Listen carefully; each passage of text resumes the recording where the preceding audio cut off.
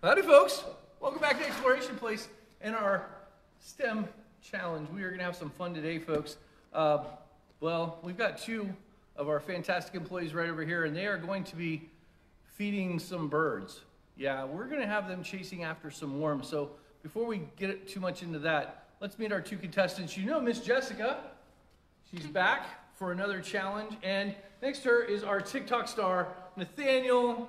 Uh, check out our TikTok station. You can see Nathaniel and uh, some of the ways that he helps keep us all safe and clean here at Exploration Place. But our challenge today is going to be fantastic. Uh, the STEM challenge this week is, of course, to build a bird feeder. So we thought, well, there's other ways to feed birds, and that's when mama birds feed the baby birds worms. So let's go take a look at where we've stored our worms. Come on, folks. All right. So Right down here, we're going to go down the ramp and we have to go underground, so down into our aquifer station. And you'll see at the end of the ramp here, we've got our collection of worms. And the collection of worms is quite spectacular. There's all kinds of worms in here. They're going to be collecting these worms, running back up the ramp and distributing the worms into the nest. All right? Now, only the worms that make their way into the nest will be counted. There will be one minute for each contestant we're going to do a best of three. So each contestant will go come down. They'll have a minute to gather as many worms as they can, put them into the nest, and then we will run it again. First one to get two wins wins. All right. So right now, the contestants behind me are thinking, this sounds super easy. Run down the ramp, grab a whole bunch of worms, stick them in the bucket. Yeah. Well, Hopefully they don't have too many well-laid plans because uh, I'm going to be asking them to wing it. No, that might involve the use of hands. We can't have that. Instead, we have our very own Beaconator. Oh, that's right, folks. We have got the giant Beaconator. Ah, ah, ah. This is what you're going to be using to collect the worms and bring them back up the ramp and distribute them into the trash can. Now, of course, it'd be pretty easy if you could just run right up to the trash can and do whatever you want. So we're going to have a little barricade right here for you. It's going to be going across, and you're going to have to stay on this side of the barricade while distributing your worms into the nest. That sound crystal clear to everybody? Yes. Yeah, you guys got that down? All right, so uh, we're going to go ahead and put this into place right here, just like that. And just like that, they went, oh, there was a twist. Yes, of course there was a twist.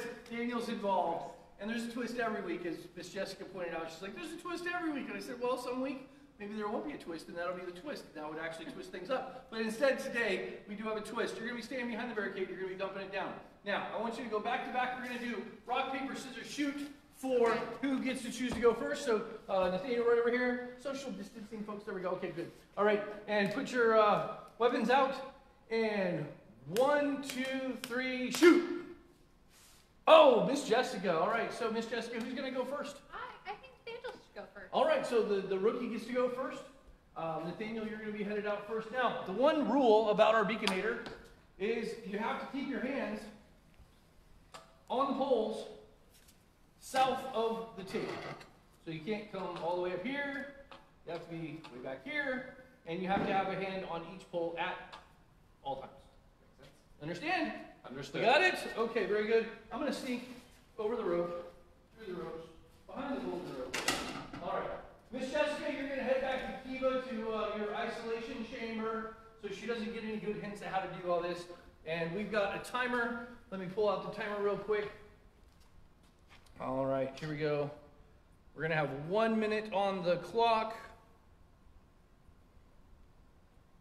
Are you ready, Nathaniel? I am. All right. We're going to start on my mark in three, two, one, go. He is off and running, folks. He has made it down to the worms. He is going for his first collection of worms. Oh, look at that. These birds are eating good tonight. All right, now we get to see how he distributes them into the nest.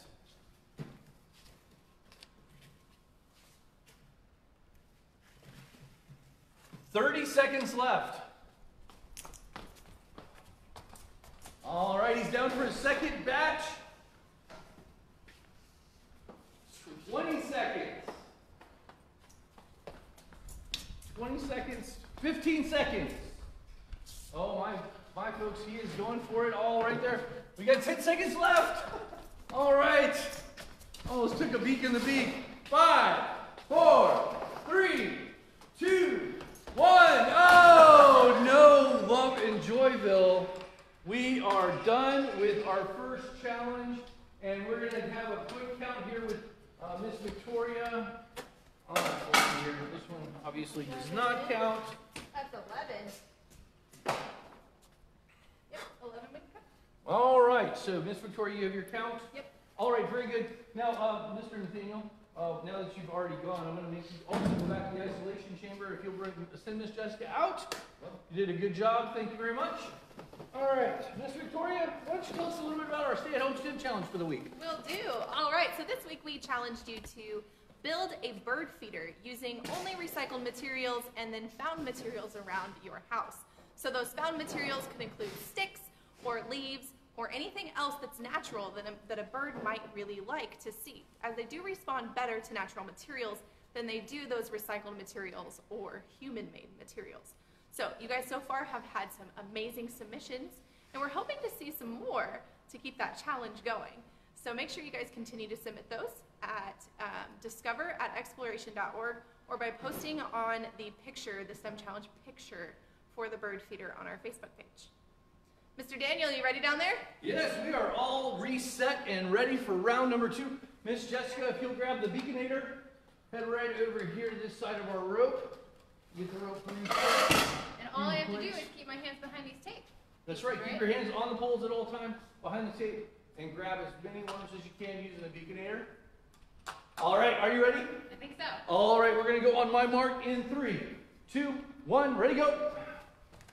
All right, she is off. She's down the ramp.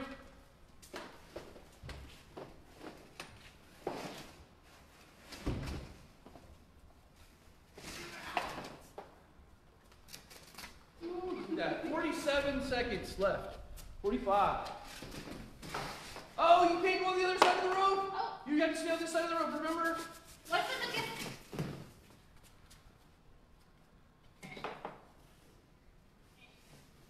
Okay, we got good set. All right, she's back. She's down. She got 30 seconds left. Piling it on. They're like big, giant beginner chopsticks. They really are. 14. 10. No! Five, four, three, two, one, and time is up. All right, let's count our first try here. Four, five, six, seven. All right, seven. Miss Jessica, if you'll step across the rope. Okay. All right, so luckily we still have more to go. You, that was kind of a learning round for you. Was. So we are going to turn it back over to Miss Victoria. Uh, Mr. Nathaniel, if you'll come out of the isolation booth. Miss Jessica, I think you can hang out now. You've both had an even chance. Okay. You've both gone once. Watching the other person is really not going to do anything but just give you something to laugh at for the rest of the week. So, all right, very good. Miss Victoria, you have some more information for I us while I go reset? Yeah, all right. So, as you guys have been able to see, we have a crazy social media presence. But we're so close to reaching 20,000 likes on Facebook. And since it's our 20th year, we'd love to make sure that that happens in 2020. So, if you can share and invite your friends to like Exploration Place on Facebook, that would be great so that we can get as many likes as possible this year and hopefully meet our goal of 20,000. So I think we're ready to go for the next one. So Mr. Nathaniel, why don't you go ahead and get ready so that as soon as Daniel comes back up, we will be able to start again. All right. We are set back up. Remember, folks, just to be clear, our contestants have to stay on this side of the rope while depositing in the can. They have to go over, they can go under. It's kind of up to them, but Ooh, that's a little bit further. yeah, round two might get a little harder. All right, folks, here we go. We're going to get ready to start here. Let me get the timer ready. And uh, three, two, one, go. All right, Nathaniel is off and running. He is into the worm pit. He is quite the handful. He's headed back to the nest. Ooh, careful. Oh, look at that. Oh! oh almost a perfect run. We got 35 seconds left. He's gathering from the beak.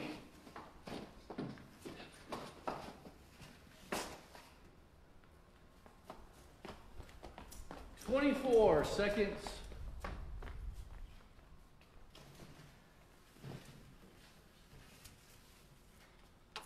Fifteen seconds.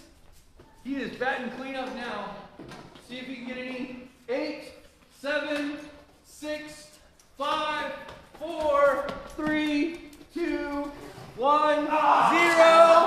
Oh, that is it, folks. We're getting a count. That one obviously didn't count because it didn't make it in the One, bucket. two, three, four. One, two, three, four, five, six, seven, eight, nine, 10, 11, 12, 13, 14, 15. 15. He went up by four in round two. All right. Yep. All right. Very good. All right. I'm going to go reset this. Miss Victoria, what do you got for us?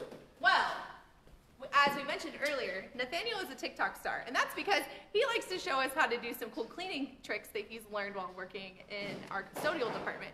So make sure you check out TikTok because it is a new social media platform for us, and there's lots of fun behind the scenes action, as well as some interesting clips about what we do on every day, including our cleaning, like Nathaniel is able to do for us. So I think we're ready. It's time for the next round, and let's see who wins round two.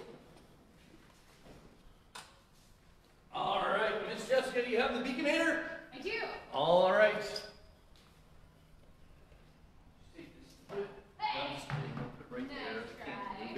That wouldn't be fair at all, would it? All right, here we go. We get out the clock, and we are ready to start in three, two, one, go. All right, we are uh, off and running. Let's see what her strategy is. She has changed her starting point. Woo! Buddy, that's a pile. Pile of worms. All right, now she's going for the going for the nest. See how many she can get in. See if she gained any insights from watching Nathaniel. Not a bad start. Better than her first start. We got 30 seconds left on the clock. She's down for her second round.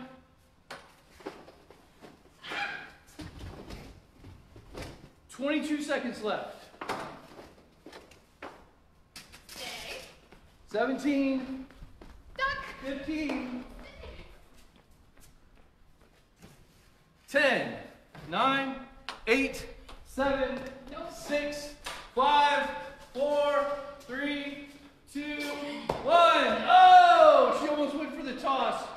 Uh, that would have been fun to watch, but I don't think it would have been very successful. Aerodynamics of a pool noodle worm are just not very high. All right, so 10. she got 10. So uh, we had uh, another routing. Our winner for the week, Mr. Nathaniel, come on down. You have definitely won our challenge for the week. What do you think was the secret to your success there? Well, my advisors told me beforehand that the best way to win is to get more points than your opponent. So that's what I did. Oh, that was a great, great plan. Uh, somebody should have let Jessica in on the same plan. Yeah. But I will warn you, uh, she's very competitive. Oh, as so I. uh, you might want to watch your back for the next couple of days. I live with the competitive. None of us have seen uh, Mr. Patrick since the last challenge. And you won't. So anyway, folks, thanks for joining us here at our STEM challenge. We'll see you again next week when I promise we are going to burn up your internet connection. It's going to be a lot of fun. We'll see you next time.